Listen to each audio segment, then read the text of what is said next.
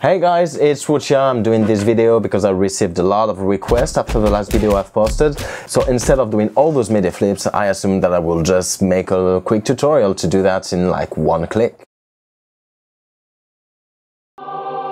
So what I'm using there, it's uh, Ableton Live. It also have a free version called Ableton Lite, so you can download it, find the link in the descriptions. So first thing what you want to do is just to look for a MIDI file. So MIDI file Smash Mouth All Star, let's say this one.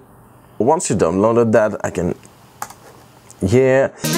Here on the left hand side you can actually add some new folders. So I've added my download folder in which there is my Smash Mouth uh, MIDI file.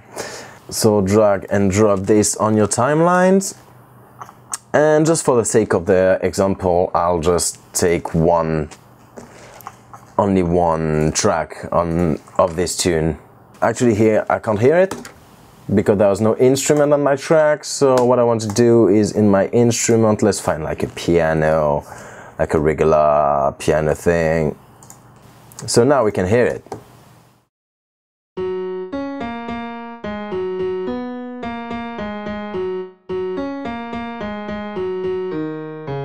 If we want to reverse that in one click, in Ableton you have here two options to reverse or invert. And the MIDI flip is basically just an invert.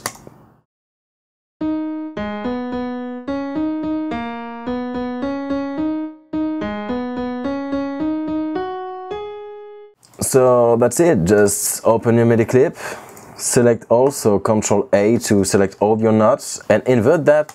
And that's it the only thing if you had like uh, multiple multiple tracks in your in your song you would may have to make sure that they're all in the same tonality in the, on the same scale so they will play fine together